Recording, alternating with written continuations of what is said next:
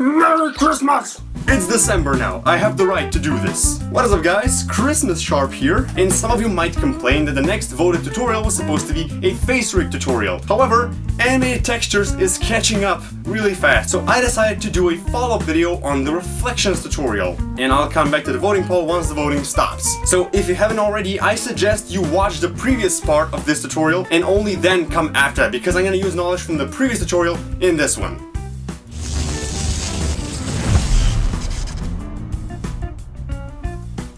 So before we start, I want to ask you to hit the subscribe button and click the bell to get notified of my tutorials as they come out. Also, drop a like on the video if you enjoyed, and uh, let's get on the tutorial here.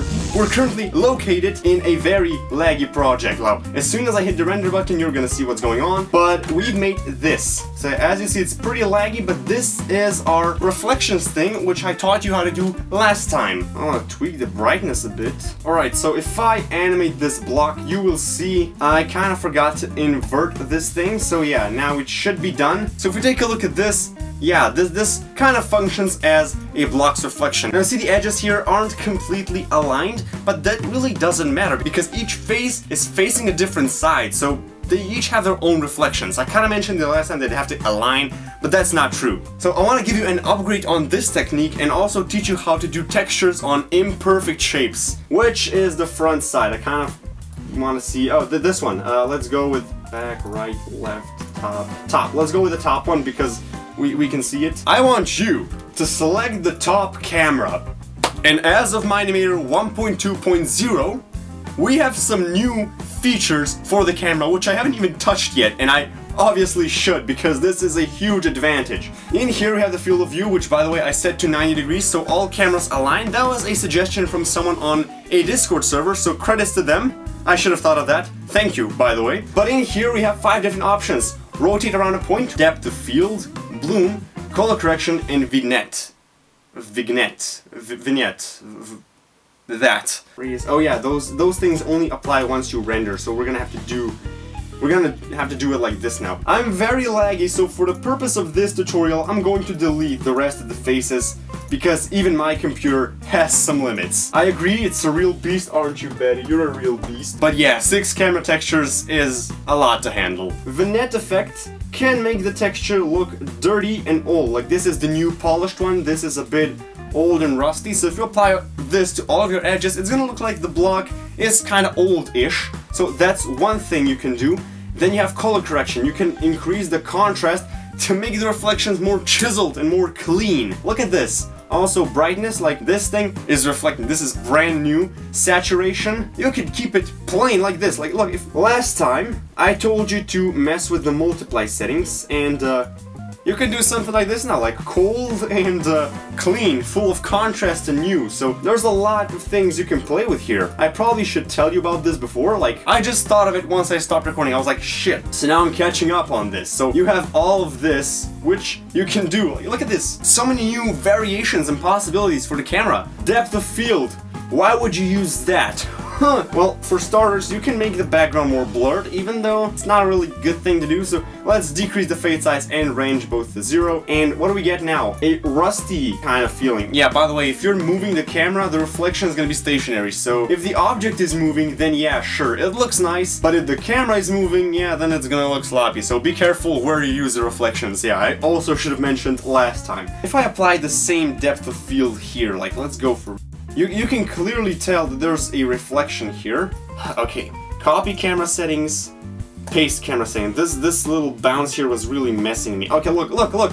Can you see this? The surface is uneven. It's got a, little, a bit of depth to the surface, like those uh, those rusty metal plates or something. Like I don't know how to explain with words. I'm probably gonna put a bunch of images on screen, but something like this. Like this is what I'm imagining. If you use this right, you have something. Okay, let's go for bloom. And uh, if you haven't noticed, well, you can decrease all that. Now again, you have a my eyes. Okay, let's go. Let's increase the intensity up like crazy and uh, do this. Intensity, contrast, saturation, like I want to achieve like a bright reflecting point, like this, something to work like as a blend, like a shine that shines backwards to me, but guess it's really just hard to recreate that in Mine-imator. Yeah, but look, this looks a lot more advanced than what we had before, even though you guys replied pretty positively on the previous outcome, so thank you for that again. But now you have a whole new level to play with these stuff. Now I want to introduce you to a new method to make reflections on imperfect shapes. Imagine you have a sword, yeah? and you want the reflection on the sword. You could add a bunch of surfaces and somehow connect them together, but that would take forever. So I've developed something which is not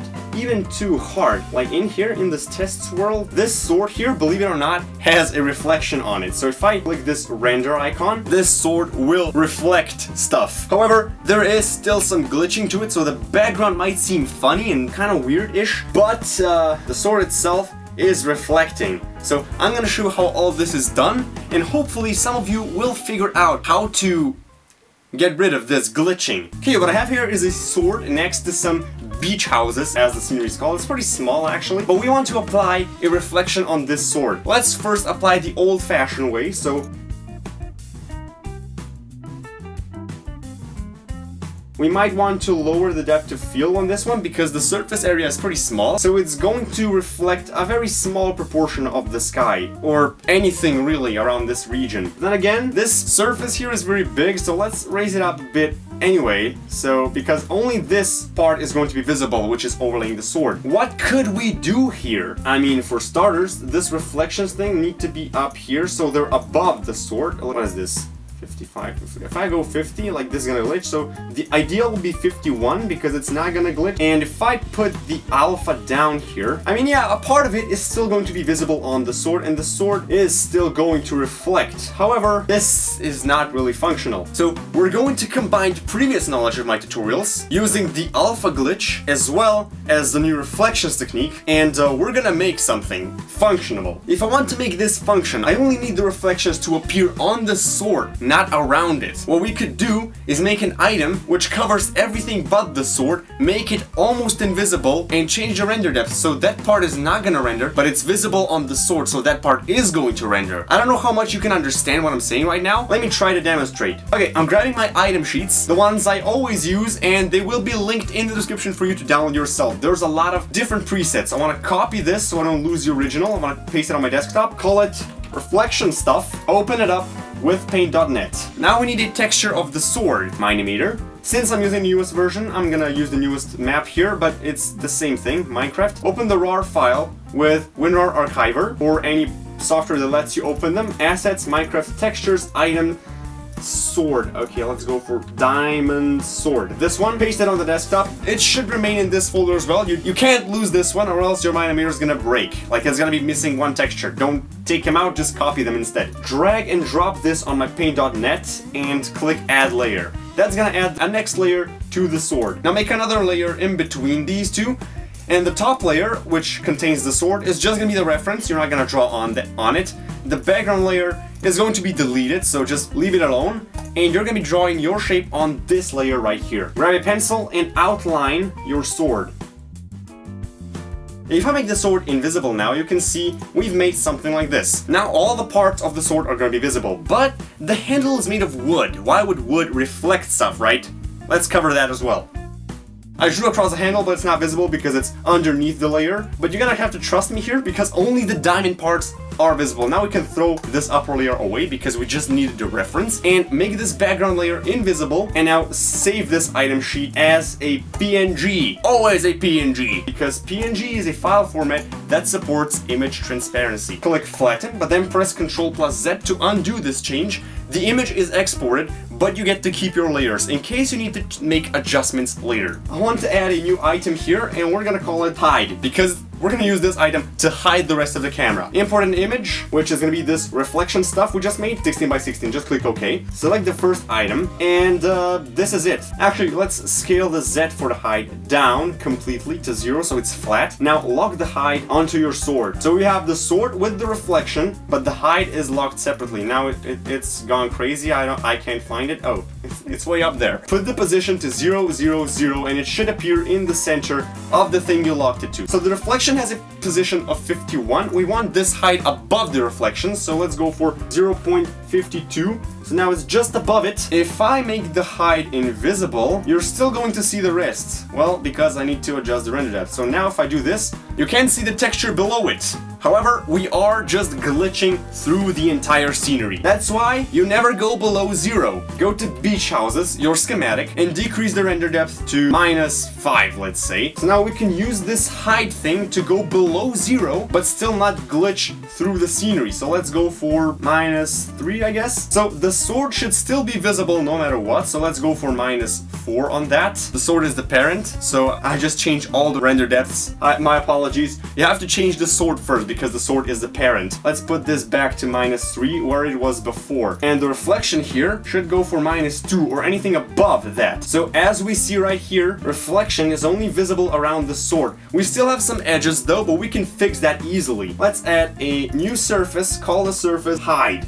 We're gonna lock this surface onto this surface. Now this should be in the same position, so let's let's uh, scale it up by so. Put this to 90 degrees, the custom rotation point to minus 8 on the x-axis. Yeah, scale the x up a bit, just so it covers the edge there. Put the mix color to black, just because you can. Put the alpha down to 1%, just like on this one. This one has a render depth of minus 3, so let's put this one to minus 3 as well. So as you see, this part of the reflection is starting to disappear. Now I want to bring the alpha up so I can see where the surface is. Duplicate it, 16 pixels up and uh, 16 pixels on the right.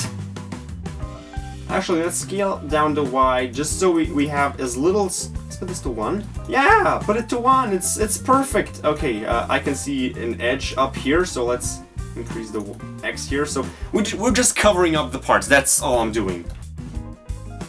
I ended up with this. Now, uh, select all your heights and put their alpha 1%. So they are invisible, but the reflection is in fact on the sword. If I rotate the sword in this direction, you can tell there's something moving on the sword. Okay, let's adjust the reflection's brightness so you can definitely see something moving on there.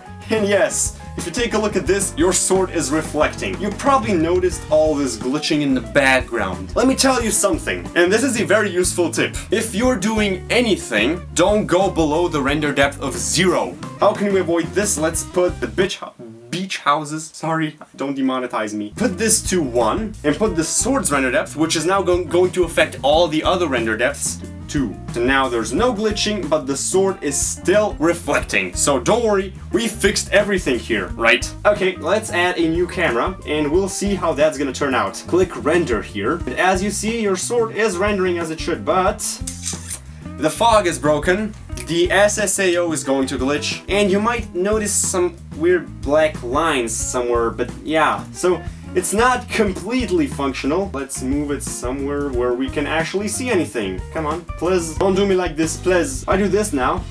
Hey! This is what I mean.